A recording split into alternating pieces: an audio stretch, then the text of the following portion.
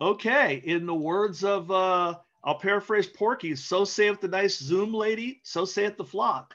Um, good evening, everybody, and welcome to a very special edition of Forward Maryland.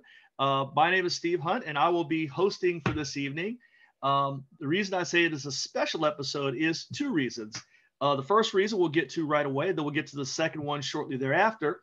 Uh, first of all, uh, we need to welcome in, and it is our honor to welcome back to the stage returning champion, um, OG, as I like to call him, of the um, Forward Maryland crew, Mr. Jason Booms, who is, of course, creator and writer on Spartan Considerations.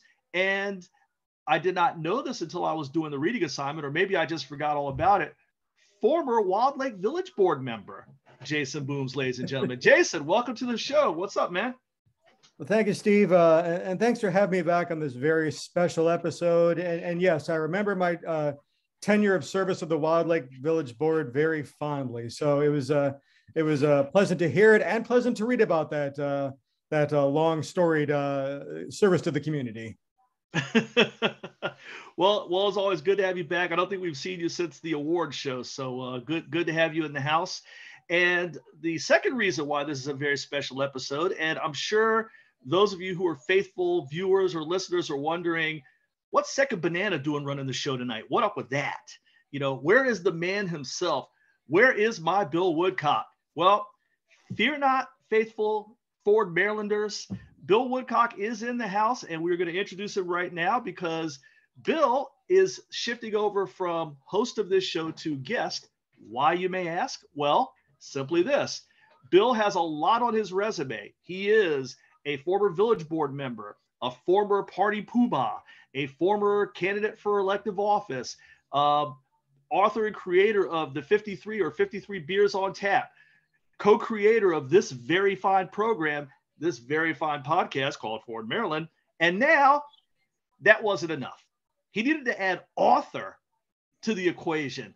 So he's just piling on at this point, folks. But you know what? He did what he did. And so he now has a new uh, book out. Um, I believe it's either released or about to be released. Bill can confirm on that one.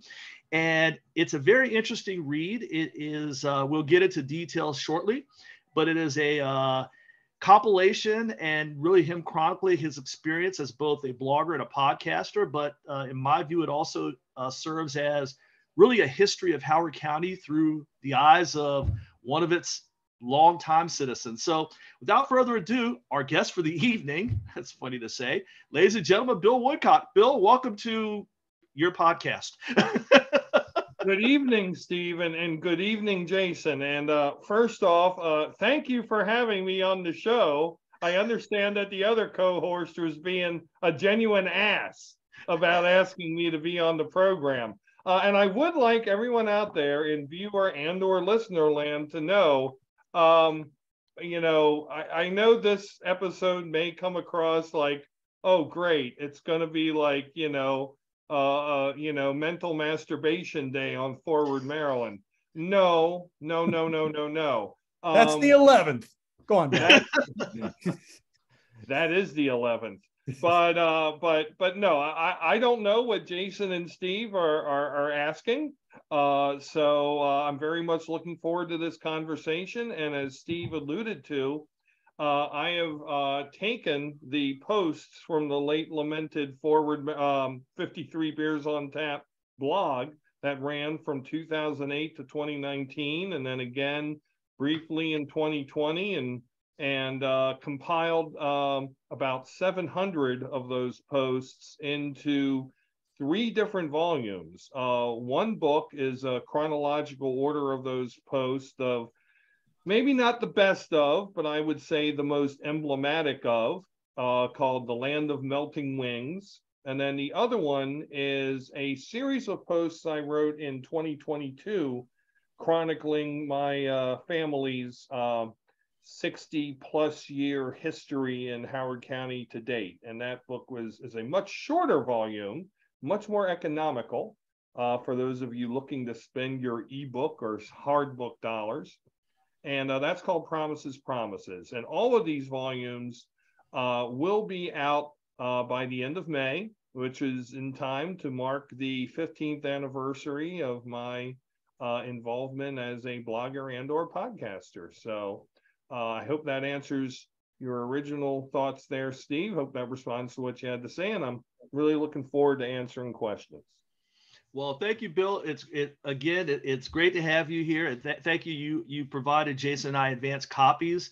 Um, it, it, the way it broke down made it made it very interesting for me because um, I, I will say that I was you were years into uh, 53 beers on tap before I started picking it up, along with other blogs like you know Jason's over you know Spark Consideration and others. So uh, reading the early years was very fascinating, and and, and also um, the the history of the Woodcock family in Howard County. It really tracks with Howard County as far as how Howard County grew up and and how we got to this thing called Columbia, et cetera. So let, let's talk about that first volume and and you know some of the things that you pulled out of the Woodcock family history as it relates to Howard County that struck you as you were writing this.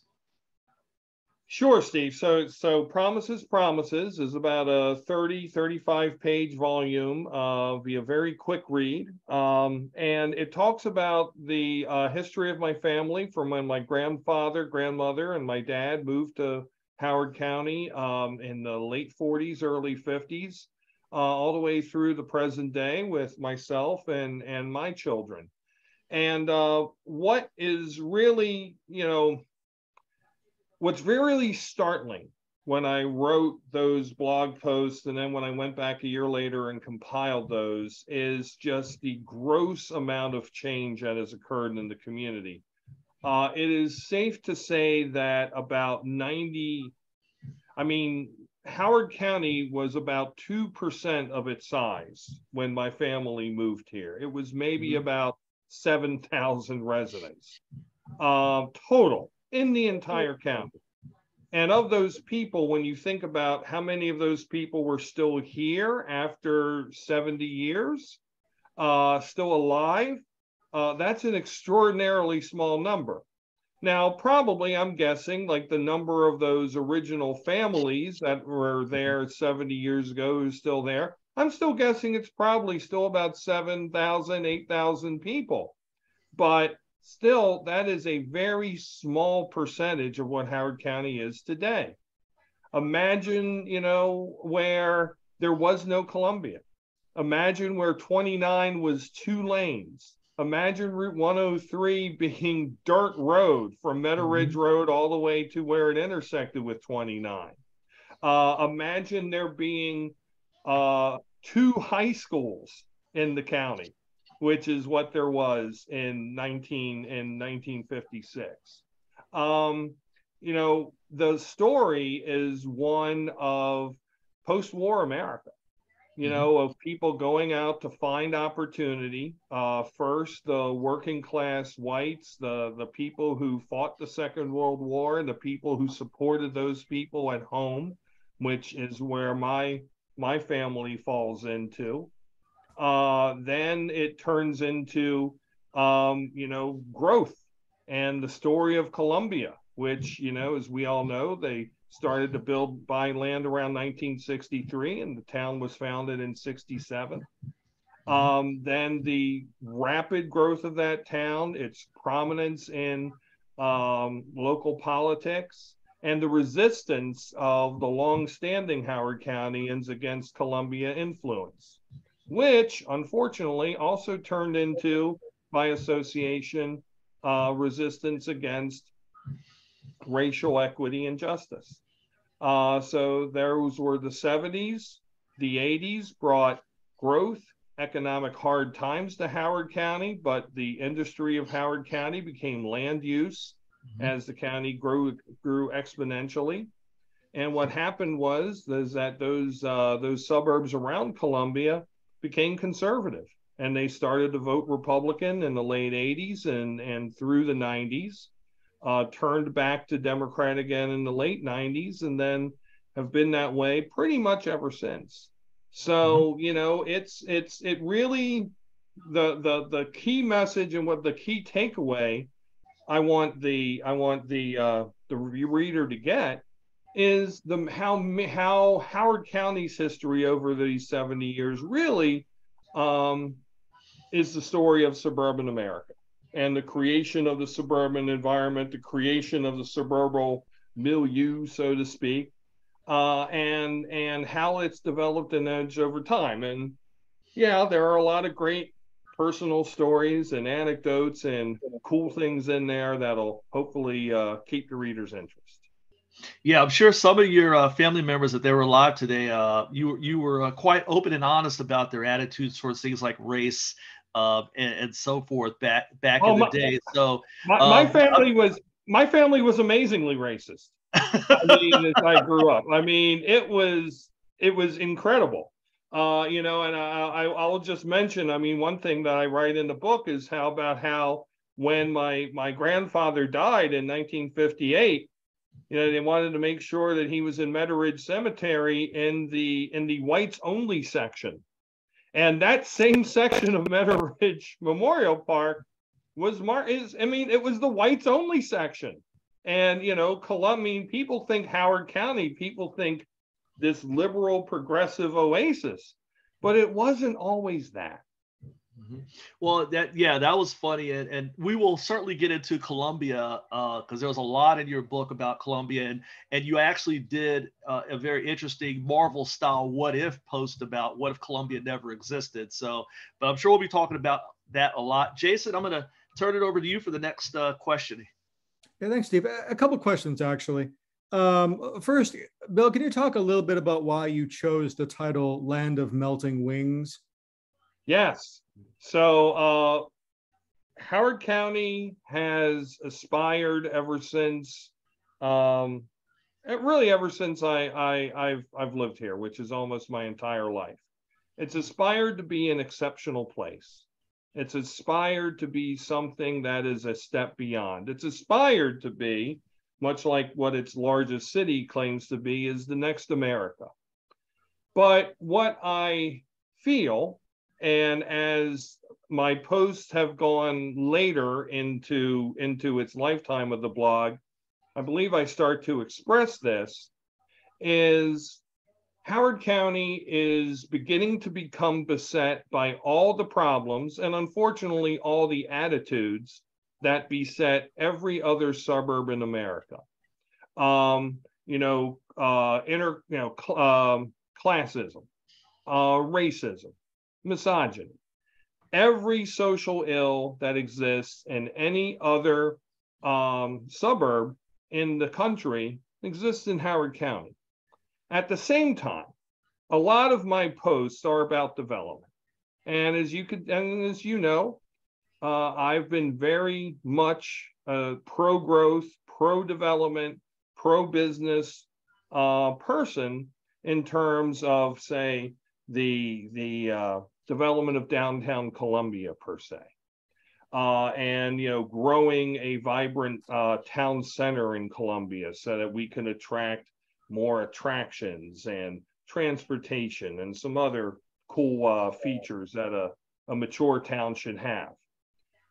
I believe that where we are right now, we really stand at a cross at a, an inflection point where you know, we have a lot of bread and circuses here, but we we we run the risk of looking indistinguishable, indistinguishable from um, between Columbia and say Bethesda, or downtown Silver Spring, or Alexandria, you know, or Leesburg, you know, places where they're all cool and they all have some neat and you know distinguishing characteristics, but they don't necessarily take you know make a kid who grew up there say well i grew up in so and so place and it was special because x. Um, that's why i called it that because you know it has been aspirational. It had the town the, the city or the, the town i should say the county has been icarus like but i do see a little bit i do see some wax melting. Mm-hmm. and i do see the future choices, and I mean, when I say future, I mean maybe next five to 10 years worth of choices, as really being defining as to whether or not, you know, my children, you know, Steve, I know you also have kids, you know, mm-hmm. grow up in Howard County, you know, who grew up in Howard County say this was a special place to live. So there's why the title. I do have one follow up question to that because I think we've, we've already touched upon the theme, but I want to pull on the red thread a little bit more. Um, so you talked about the story of uh, Howard County is uh, the story miniature of the story of suburban America. And you mm-hmm. talk about the aspirational element of what we're trying to do, yet we're beset by all of these issues, which which make us some may say a non Shangri La, which I, I, read very recently in someone's uh, blog post. Um, but let's fast forward a minute. You talked about five or 10 years.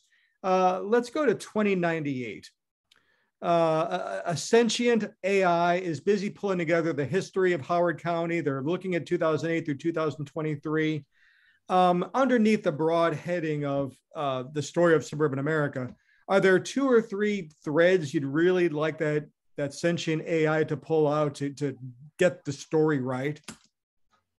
I think the two are so so I think that well, if we're looking that far in the future, here would be the threads I would I would hope that I just want to make sure that I just want to make sure that by 2098 we're all gone, so we're going to be very reliant on the yeah. AI. Now, one of us yeah, may be how, like a cyborg, how nine, sort of robot, but other than I, that, I am picturing some like like like Rosie from the Jetsons right now.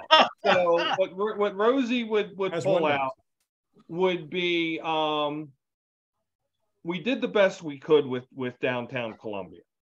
I mean, the there's so much that I write in the in the book and in the posts about the entire downtown planning process. I mean, I, I think literally over at least a decade. I'm writing about downtown Columbia planning. Mm-hmm. Yeah. And so that we did the best we could during that time. There have been things that have gone after since then, Jason, and I'm not going to go down that road right now, but we did the best that we could. Mm-hmm. Secondly, was that despite everything that everybody else says, mm-hmm. land use in Howard County is king there have been some lot lots of civic bloodshed and lots of civic hand wringing about education issues public safety issues um, racial equity issues. But at the end of the day it all is coming down to land use and property management. And that those discussions are what drives the discussions. Um, on those other topics. The third thread that I would I would advocate is that is that there is a lot there is a lot of failure. I'm trying to be very careful with my words here. There was a lot of failure to do the best thing. Hmm. Um, and a lot of that you know, I write also. I mean, you know, guys, we're in the middle of a Columbia election season, as we all know.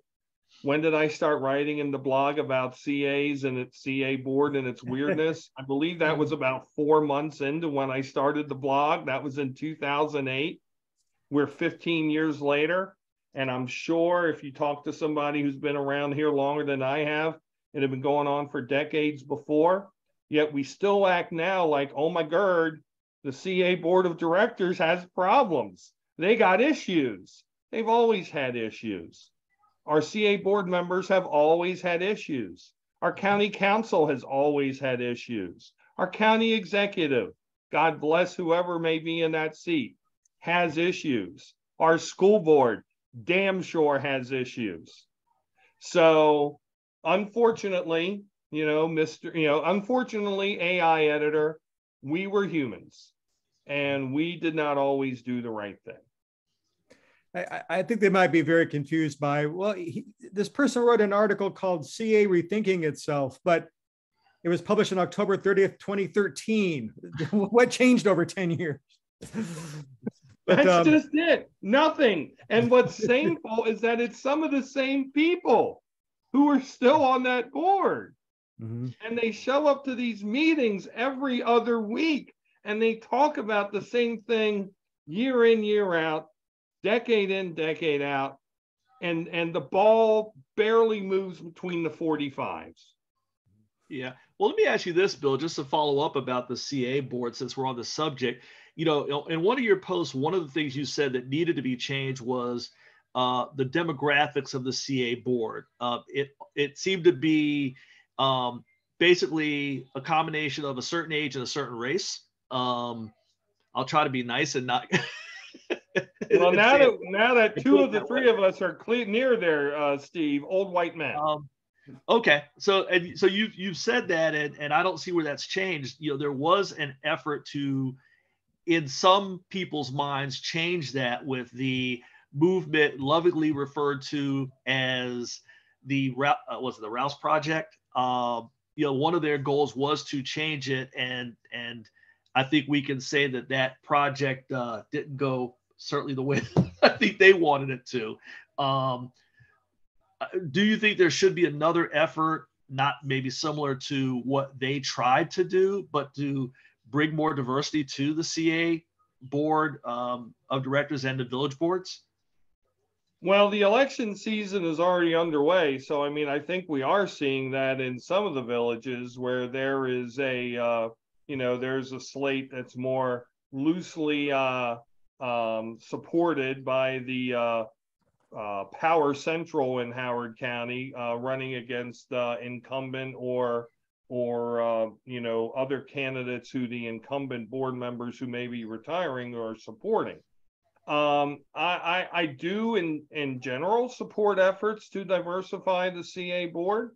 Um, you know, uh, Jason well knows because he and I talked about this a lot on this podcast during the heyday of the Rouse Project.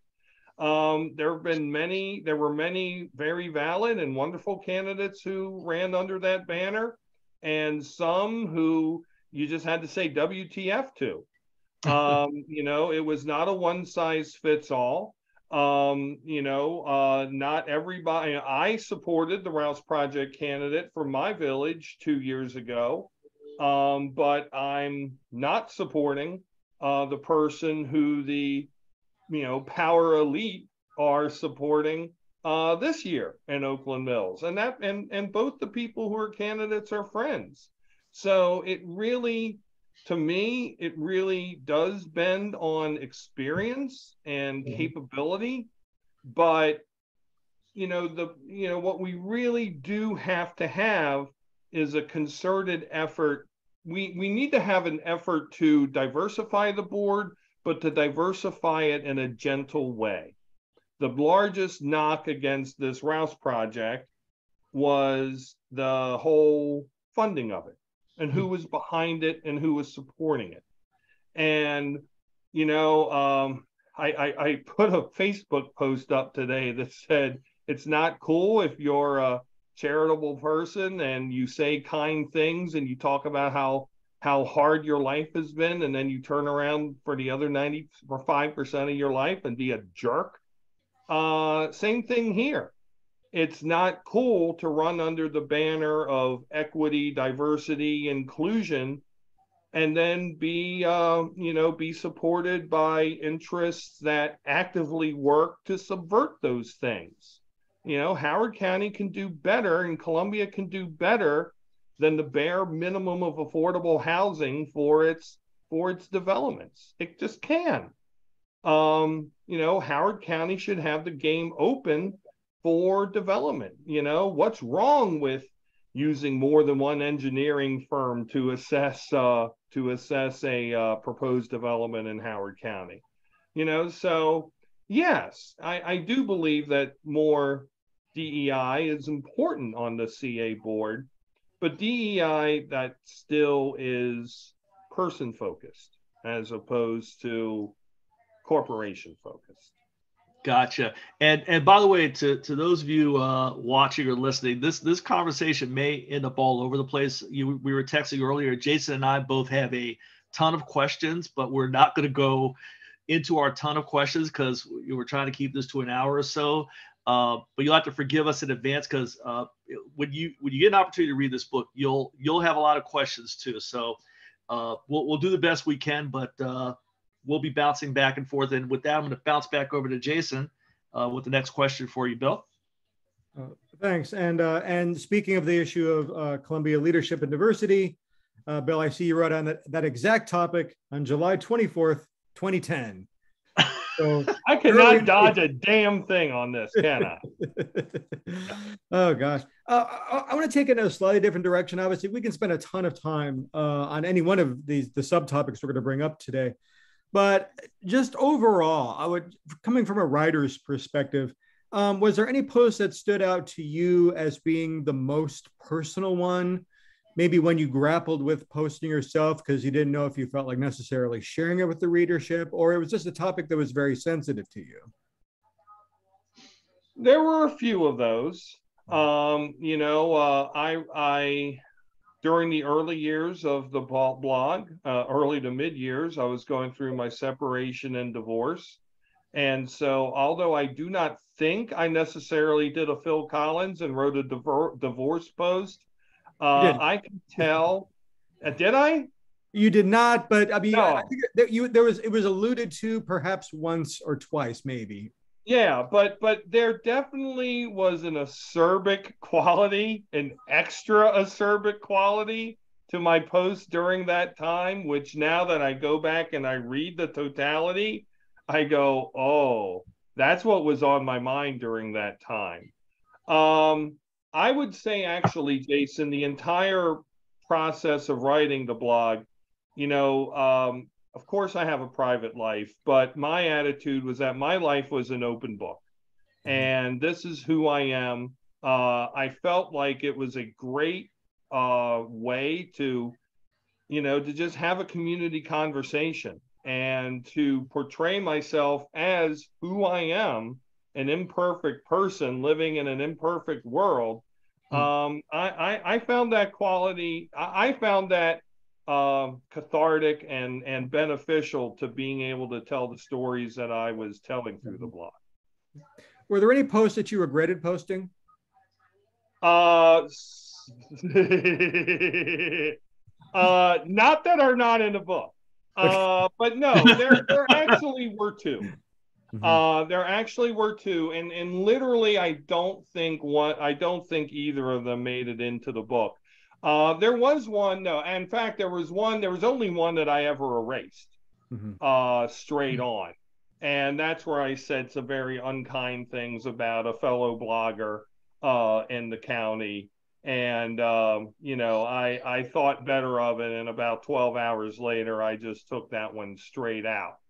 Mm-hmm. Um, the one that I would say, uh, the one that I could say that's in the book that, you know, I put it in there, but then it was like, you know, um, you know, I wished I hadn't have written it mm. was the post Council Bill 9 post mm. uh, about uh, Jon Weinstein's troubles with his votes and, you know, how he was kind of pilloried for all of that. I kind of felt like, you know, whereas I think a strength of the blog was giving people that under the hood look at, you know, this is what you know, this is what policy making is like. This is what serving in office is like. This is what um, you know, uh, this is what these people have to go through. And even though at the time Jon was fine with me telling that whole story. Mm-hmm. Um, I, I think I maybe maybe shared more than what was necessary to tell the story to the audience. I don't think I said anything inappropriate. I certainly didn't say anything mean or unkind or untrue. But I, I think uh, it was there was it was a theme of overkill, uh, and and that that probably didn't need to that probably didn't need to go there. I just have one more note, and I'll kick it back to Steve. Um, the, the, the one thing I liked, um, in particular, where some additional context would be necessary. Well, number one, I like the fact that you included your original language, so it wasn't something that we were seeing something that's through the prism of 2023 necessarily. It's like mm-hmm. the words on the page as they're written. You can see that just talking about uh, same-sex marriage as opposed to marriage equality. This is just the terminology that was used during the time seeing the evolution of some of the things that you covered was was always fun. Some years there'd be a lot of interest in uh, writing about gaming, for example, or speed mm-hmm. cameras, or or issues that you know may not appear to be you know, given what we as a nation have experienced. like, my God. In fact, there was one you wrote in 2012 where you sort of talked about will 2012 be the new 1968 uh, with all of the, the potential trouble that portended. And now 2012 looks like a walk in the park compared to. Uh, yeah, yeah, yeah, Maybe I like to have that one back. but uh, just to uh, wrap up the thought, I do like the fact that you did include, um, you know, what really happened ah. in some situations where you want to like, oh, and by the way, this is what took place. I think that really rounded out a lot of those stories nicely. Yeah, that was a feature I wanted to put in there. Uh, you know, about, you know, just that, you know. And here's what happened. I mean, it's amazing that, like, for example, the state of Maryland first talked about some sort of legalization of marijuana in 2013. Mm-hmm. It's incredible. And then, like you mentioned, Jason, all the posts about casino gaming and whether or not to put a casino at the airport or at Arundel Mills. Mm-hmm. Oh my God, the whole kerfuffle about that. Mm-hmm. You know, you, I, you, I'd forgotten so many of these things that were big time debates back then. But you know that the outcomes have shaped the Maryland we live in now. Yeah. Yeah, uh, Jason, that was one of my notes as well. I, I really enjoyed the what really happened set uh, section of, of some of these posts. Although, Bill, I will note while Howard County did not get winery, we got breweries and distilleries. Indeed, we have. Still no damn winery. I don't understand why. We're so exceptional. uh, want to talk about it. You know, Jason asked a question earlier about posts that that resonated uh, with with that maybe resonated with you. I could I can give you three that resonated with me, and you can pick any of these um, you know your call, but they really struck me. Uh, the first one was the one about uh, the Knights, Rick and Ricky Knight.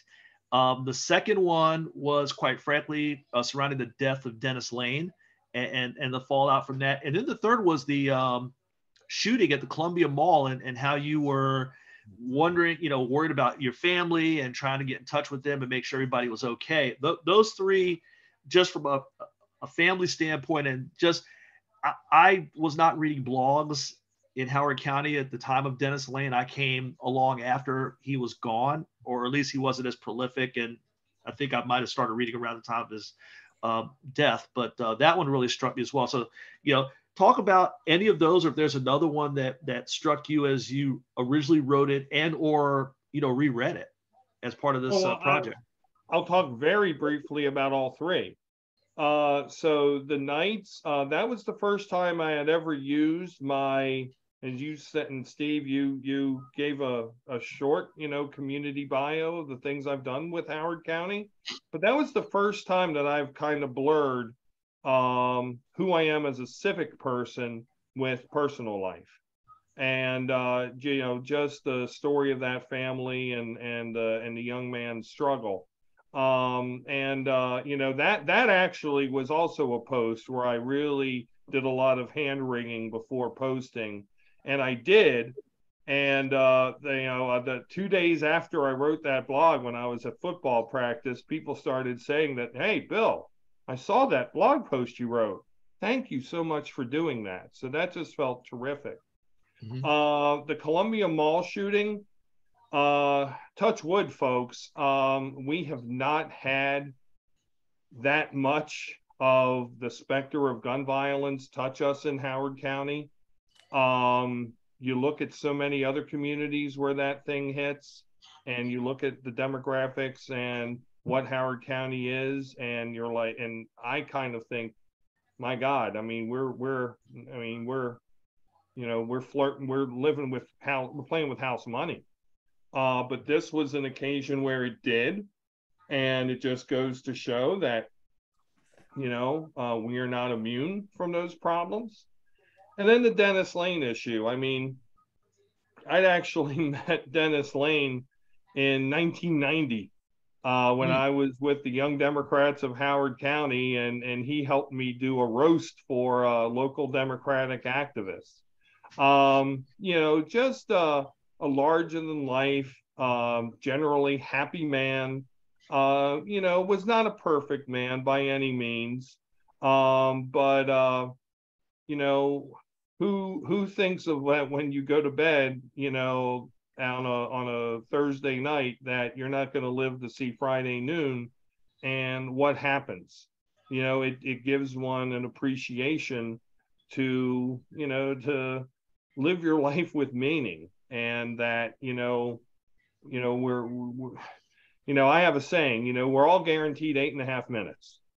You know, in case some cataclysm wipes out the sun, we have eight and a half minutes to uh, to live and so, don't you want that last thing you do with whoever you're doing it with, be it a friend, lover, colleague, work person, buddy, child, whoever, don't you want that to be meaningful?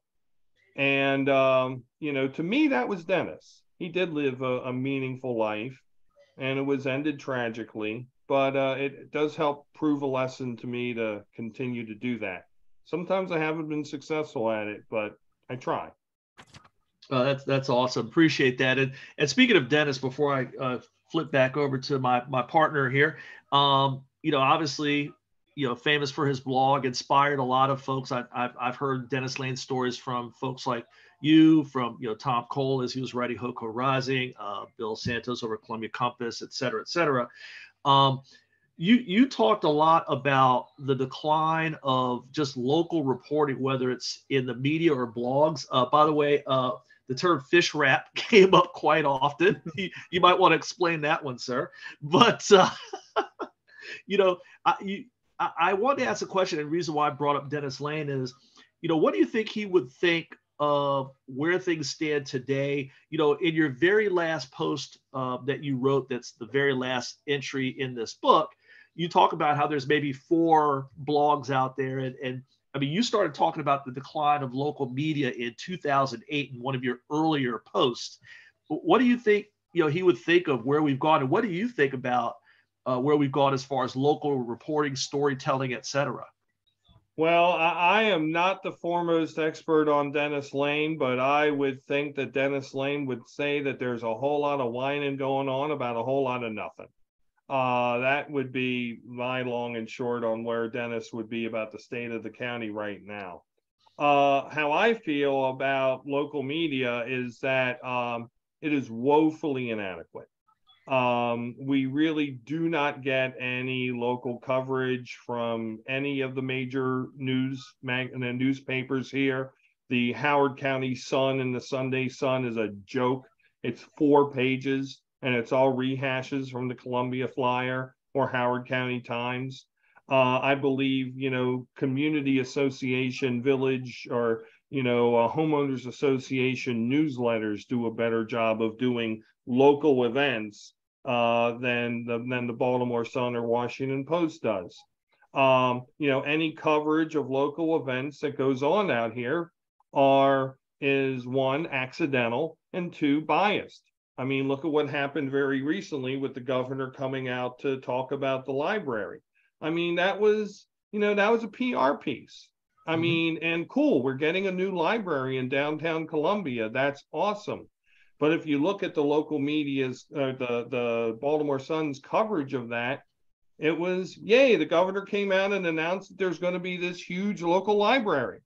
You know, um, fair question to ask about the library is, you know, uh, is the current central near the end of its useful life because that that bad boy was just renovated not 10 years ago. Uh, you know, and I'm not advocating that we don't have a new central library. I, I think maybe that we should, but you know, how did that, how did all that funding come about? How are we spending our dollars? What are our other choices? You know, that richness of community discussion we don't have anymore. We we have community discussions that seem to be based around obeisance to one political party or the other. Uh, and and and obeisance to one of the political parties isn't even worth talking about because the ones on the right are bug nuts insane. That being said, the ones on the left are are close to becoming a, a cult of personality. You know, Steve, you mentioned my last blog post. Um, there's a very, uh, I'm I'm going to pat myself on the back a little bit. those of you listening, I'm patting myself on the back. there's a thing I say right at the very end. The only progress that has ever happened has come through dissent. Hmm. Think about it. Is that not true? But, you know, 10, 15 years ago, when we had a very rich blogiverse, we did have people who contrasted and conflicted in their ways of thinking. Um, you know, we had a richness of community discussions. I mean, remember the blog parties we used to have 60, 80 people show up, you know, just talking stuff about what Howard County is and what it could be. We don't do that anymore. I don't know of any forum where anybody in this county talks about that anymore. And whatever forums they may claim to be are carefully curated and guided by, by county leadership in one form or fashion. You know, we need to find a way to provide for not an independent voice, but a independent fountain of ideas to form, a spring to form, and then bubble up. And we don't have that. Uh, good stuff. Jason, you got him, man.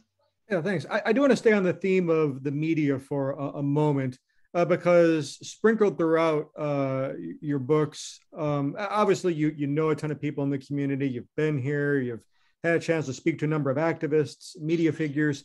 Was there one um, media personality, analyst, journalist since you started writing the blog? So I'll put in that 20, 2008 timeframe to the current date is is there one reporter who really got Howard County in your mind the best in terms of being in touch with what's going on in, in our communities? There are two. Uh, Lindsey McPherson, who mm. used to write for the Howard County Times and Flyer, and now I believe is with Roll Call. And yeah, Christian, Hill, yeah. And Chris, and yeah, I think she's with the Hill now. And Christian Davenport, who used to write for the Washington Post and now uh, is on NASA TV and uh, does a lot of space coverage. Um, they they had Howard County nailed. Mm-hmm. Uh, there are other there have been other good reporters during the time. Larry Carson is one that comes to mind. He has Columbia roots. Len Lazarick's another one. You know, also a guy who knows all sorts of old school Columbia and Howard County people.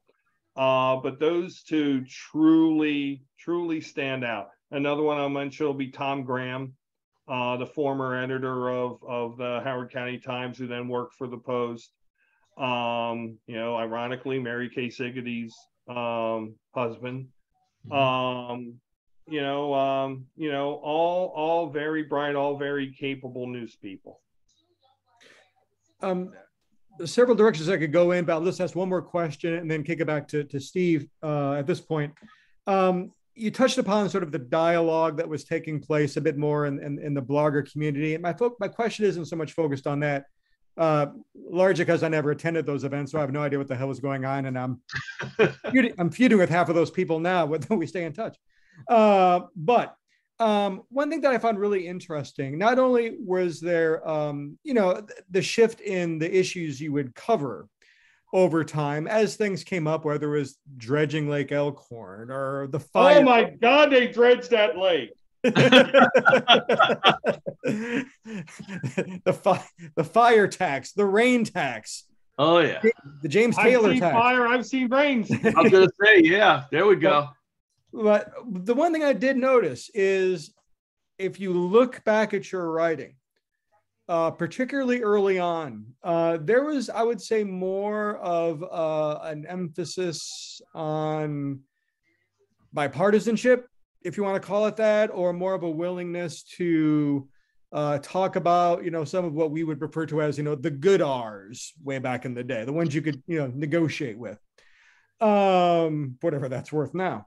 Uh, what is it that changed about was it was was it you who changed? I hate using the word progressive but did you become more progressive? Did the the republican party become something so unrecognizable that it was literally them moving away from you what happened to the tone of the writing where you see less of that uh, bipartisan theme happening oh well that's a fantastic question and uh, i'll offer this answer Remember, I started writing that blog in 2008. Remember, the national election was Obama McCain. Remember that that was also the germination of the seed where it was okay for people on the right to start talking about people who didn't look like them and didn't act like them and didn't talk like them. Mm-hmm. You know, 2012, there was a little bit more of that tinge, but not so much nationally. But in Howard County, I think you saw it more because there is a African American county council member, Calvin Ball, who started to stand above, you know, head and shoulders above the others. Uh, you know, was making not a huge secret of his own aspirations. And then who was the other preeminent Democrat at that time? Courtney Watson, a very capable, very intelligent female candidate. So, you know, the misogynists and the racists both had their day. And then you go to that local election of 2014, where I believe Courtney was treated horribly as a human being uh, by by the by Allan Kittleman and by the people on his campaign, from his campaign chair on down. Uh, and and he won. Uh, he tried to portray himself as a uniter, not a divider, in the Bushian tradition. That failed miserably. And so in came Calvin Ball uh, in 2018. So we were probably locally a few years ahead of the Trumpian curve without there being any, you know, Trumpian cult of personality leader of that ilk or of that mindset uh, to lead them. Um, we probably did not, I, I don't think we knew that at the time. But when I go back and I go through those posts, that's what do I see. So how did that affect my own change? Um, I, I, I can only react with intolerance with more intolerance. I cannot I cannot brook somebody who has a closed mind, who, you know, like I said, these sorts of people who talk about, look at me, I've had all this hardship. Oh, yeah, by the way, let's now make fun of so and so on the internet. That's funny. Ha ha ha ha ha. Aren't I clever? You know, no one wants to see that trash. And yet here, you know, here we are in the one of the wealthiest counties, the most well-educated counties in the country. And that trash is abounding, you know, and, and it's still abounding. So no, I, I, I can't play that. You know, mm-hmm. I'm willing to reach out to the other side as long as the other side's willing to reach out to me. But if they're going to, you know, if they're going to do the little Fozzie pull your hand away and go, hey thing, you know, then probably I'm going to ball my fist up and slug them right between the eyes. Good point. Well, I, it's funny. Uh, Jason, you asked a, a, similar question to, to the one I was going to ask, and that was, you know, how Bill you've changed over the years. Not only I was asking, I was going to ask, and I won't go too deep into this since you, you know, Jason put the question out there as far as perspective. But as far as people, there were a number of people, names that we're all familiar with. I won't name them here. You'll have to read it in the book, as they say, of folks you like endorsed way back when that today there, there, there's no shot you would give them the time of day. I was shocked at some of the people who you were like, oh, yeah, this guy's doing a great thing with this New City Alliance. I'm like, is this the same Bill Woodcock? Because that guy is getting no love from Bill right now. you know, um, you know, I, Steve, I am a man of goodwill, and also that goodwill is can be squandered. And when that goodwill reserve runs to zero, you are SOL. Uh, and that that's kind of how I feel about a lot of our elected officials and, and civic leaders. Uh, yeah, I, I, I recognize who you're talking about there. Um, I will say this: I do not, and I've reread all those posts. I do. I stand by every single one of those endorsements as I gave them when I gave them. It was the best I mm-hmm. had with the information I had at the time. Um, but you know, do I feel that some of those people have squandered uh, public goodwill? And forget my goodwill for a second, public goodwill. Yeah, I think they have. Um, you know, um, I, you know, I'm not going to mince much of a word about it. I mean, I think there's a lot of civic sellout that goes on in Howard County lately.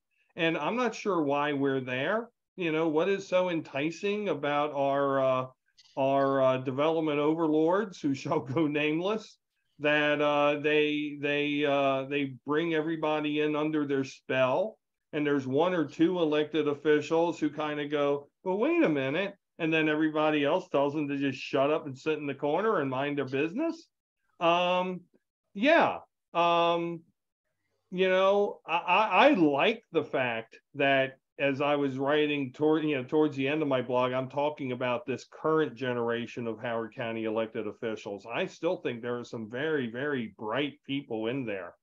Uh, what I would urge them to do is what I've been urging people to do since 2008: think critically and think creatively. And you know we have a terrific environment in which to perform really cool experiments of how government can help lead, bring people to opportunity here. Let's do that stuff. That's awesome. Um, yeah, I know we're, we're getting down to it. I don't want to go too too deep. Like I said, we could go for a while. By the way, one of my shocker moments, and Jason, maybe if you have a shocker moment that you want to talk about that Bill can address, my shocker moment was once upon a time, Bill, you were heavily involved in the Howard County Citizens Association or HCCA. I, I, cannot, I cannot, I cannot, I, I can't reconcile what it is now and what it's been for a while to an organization that once upon a time you were an active part of. I, that that was the if you wanted, there were several head explosion moments. That was one when I saw that. I don't know, Jason, if you had something that totally blew you away. But that one just that one just hit because being in North Laurel, that one just hit me upside the head, man. yeah, being being reminded of that, and uh, the, the one title that really stood out for me, although in context it means something differently, and, and Bill may remember this very well. Uh, remember SuperFoose? yes. yes. But you know, just you know, but within the context of that, she would have to do all these things and be all these things to all these people. Not necessarily that she was, in fact, running around in a cape at the time, although we can't disprove it either. But uh, but I do think no. it really stood out as an article. It was like, well, okay, this is this is where Howard County was at the time with education. But but I did include the post where I turned. I did include the post where I did the heel turn on Renee Foose. and then I went from being her friend, I went from being her Krypto to being her General Zod. and, and, and, you know what they have to do, Steve. Kneel before Zod. Zod. Damn straight, brother. So so that was one thing. And the HCCA thing, you know, when I was president of HCCA, HCCA was pro mixed use. Um, you know, Lloyd Knowles was was on the board of, of HCCA. Um, you know, um, they they had just um, kind of stopped. You know, this was in the discussions behind Maple Lawn and the mm. building of Maple Lawn. This was in the discussions. You know, we HCCA helped write the original senior housing ordinance for Howard County.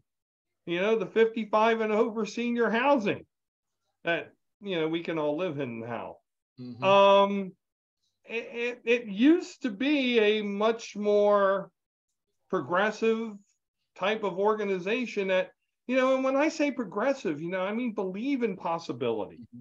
You know, believe that the, things can be different. You know, you just don't have to adhere to the status quo, and you sure as hell don't have to go backwards. Um, but yeah, yeah, I mean, it was cool to do at the time.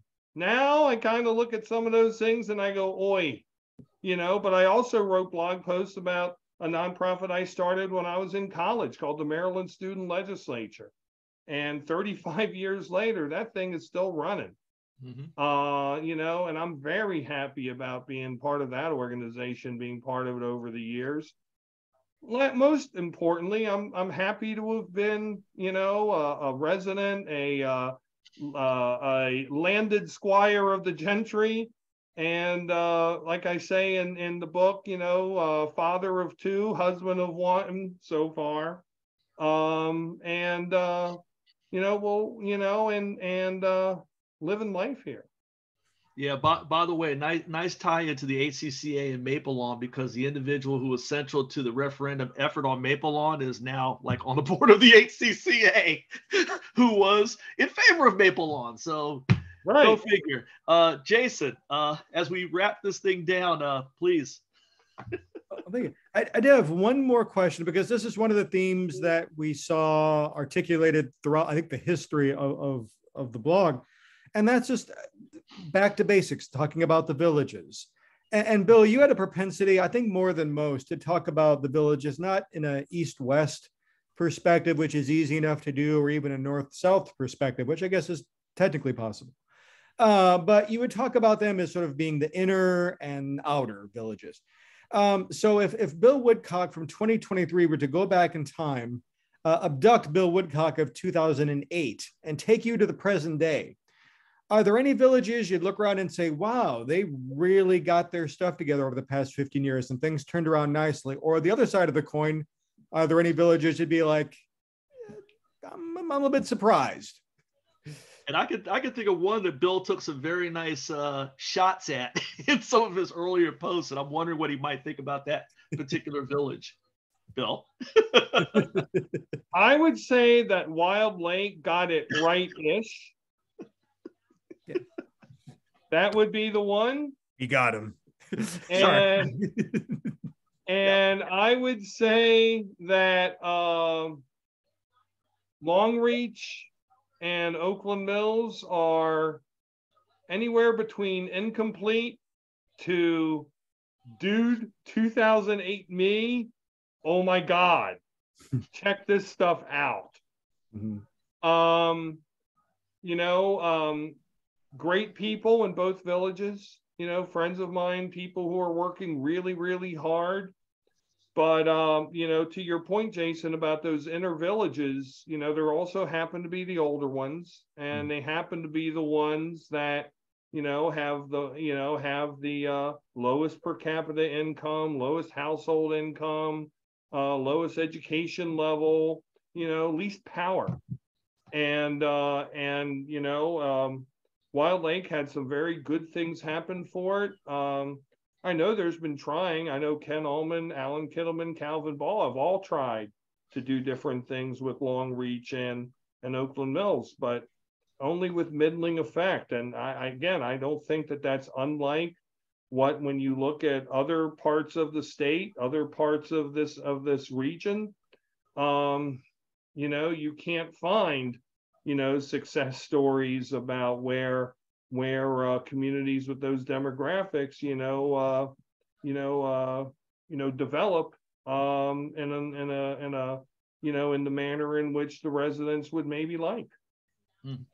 And I just want to say, I, I think your coverage uh, of the villages, it, it's it, it was very gripping it really told a great story. Uh, I mean, just being able to go over time, see the evolution of the villages, uh, of the communities themselves. So I, I, do appreciate the fact that you you spend so much time in telling those stories. Uh, so I just want to say I really greatly appreciated your your thoughtful coverage of uh, Columbia generally and Howard County, you know, more broadly over that period of time. It's it's my pleasure. I mean, it was one one one area in which I think my blog made a difference. Well, Bill, I'm going to give you, for my last question, an opportunity for a bit of a shout out. Um, you know, uh, actually, I would ask two questions. My first was a little on the silly side. Are there in existence any Howard Effin County T-shirts? Not sure. They may have been donated, but I know I still have a sweatshirt. Um, you know, um, I have to look. I don't okay. think so. All right, so that that's my silly question. But as far as shout outs, you talked about some life influences and and dedications, and then some writing influences. And you talked about, and, and you can talk about the significance of Will, Christine, Jen, and Claire on the on the life side. And then as far as writing, uh, Metchkin, if I'm pronouncing that correctly, Vonnegut, um, Michener, and Russert. As far as writing influences, uh, by the way, I'm a huge Tim Russert guy, so you you could never go wrong with uh, Florida, Florida, Florida. So. Uh, any shout out you want to any of those individuals or anybody else you want to acknowledge or anything else Well, well, my my, you know, Steve, like I said, my personal life is my personal life, and my children and my very dear friends. I'm going to, uh, I'm going to share my feelings about them with them, and and we can talk about that offline, but but not here. Uh, but in terms of my uh, my writing influences, um, Henry Louis Mencken, the Sage of Baltimore, who predicted maybe a hundred years before that one day the office of the presidency will be will be occupied by a complete and total moron. Hmm. Uh, you know, he never he never uh, lost when he bet on people going to their own basest instincts. And he used to, you know, in his writings, he would try to caution the uh, bourgeoisie about, you know, the baseness of the people and that we're shooting too high over their heads. Um, and again, almost a hundred years later, I, I, think those writings are are profound and prophetic. Uh, Kurt Vonnegut could just find the surreal in everything, and I could find the surreal in so many of those things. Like I said during this this this podcast about how many things repeat themselves and how we keep feeling doomed to keep repeating history. It's ridiculous. And then last, Tim Russert. Um, you know, always, you know, wanting to know what Mr. and Mrs. America were going to ask about whatever issue at their dinner table. You know, I I always called that when I wrote my blog, you know, about an issue, what would be what would be the things Mr. and Mrs. Howard County would want to know. And I started with that premise and if I had, if it was a premise I believed in and I had information to support that premise, then that's what I wrote. You know, there are some blog posts that I wrote where, eh, I'm kind of half hearted buying what I'm writing. And I decided early on I needed to trash that. I needed to write about things that I believed in, not report what was being told to me by somebody or another. And that made my writing better. So those are those three uh, those are those three uh, influences on my on my writing. Well, that that's awesome, and and and Bill, um, again, you know, th- this has been a great conversation. Bill and Jason, obviously, the, the, three of us being able to get together is always a good thing, but for this uh, topic, it's been awesome. Um, again, as I've said in reading it, uh, it I, I like to call this book, you know, the history of Howard County through one man's eyes. Um, so, you know, for those of you who think, oh, it's just a bunch of, you know, blog posts where Bill's, you know, you know, blowing smoke about this, that, and the other, it really is tied closely to history of Howard County and quite frankly to Maryland because he uh, touches into a few other counties. Uh, you have to read the book to see how he uh, discusses issues of Baltimore City County and Anne Arundel County. So uh, there's a lot to unpack there, and obviously statewide. Um, always found it interesting that uh, nobody saw Hogan coming till early 2014. I always thought that was an interesting aside because reading your 13 stuff was like, where's Hogan? Where's Hogan? Where's Hogan? like, oh, there he is. Um, but anyway, a great history lesson. Uh, Jason, anything uh, that you want to add to any of that? Uh, no, I just want to make sure that, uh, and I know you said it hasn't been published yet, but is there any other information you can provide as far as be on the lookout for links or any anything we should know about in terms of uh, if you're interested in purchasing these fantastic books? Oh, yes. Uh, I will definitely provide links far and wide uh, through my social media presences, not just the Forward Maryland page, but my own personal Facebook page. Uh, uh also, um, also, it's going to be, um, you know, the ebooks and the hard copy books. Um, I'm using a, a publishing, a sell, it's a self-publishing company called Book Baby and uh, they are putting me on Amazon and Goodreads and all the worldwide distribution networks.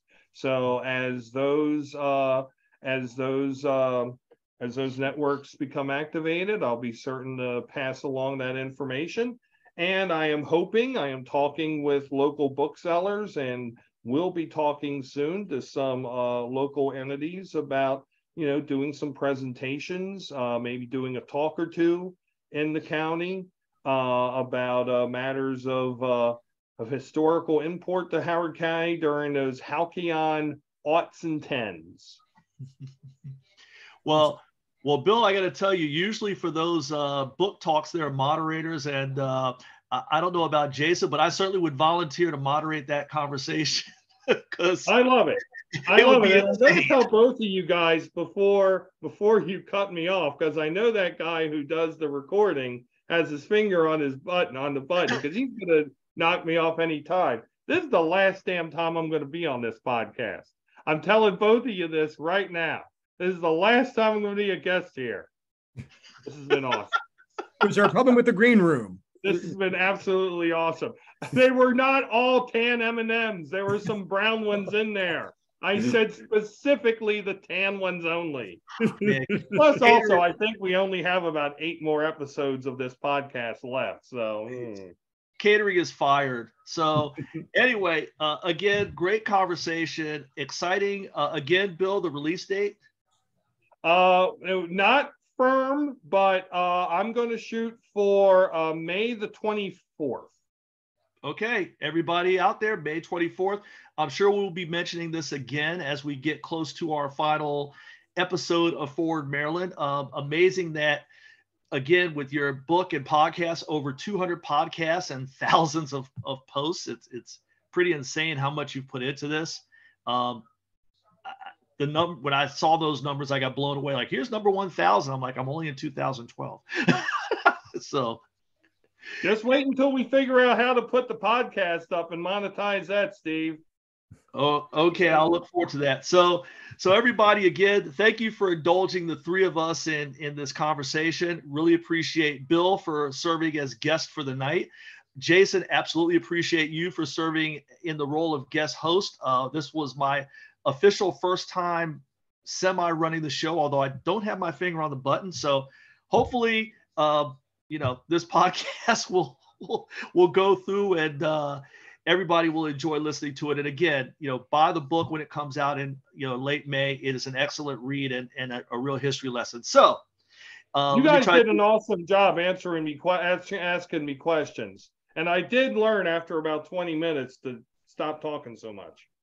Well, we appreciate that, Bill. Uh, we we we try to do our best. So Anyway, everybody, for our very special guest, Mr. Bill Woodcock, and for co-host Jason Booms, I'm Steve Hunt, and you have been watching or listening to another and yes, special episode of Forward Maryland.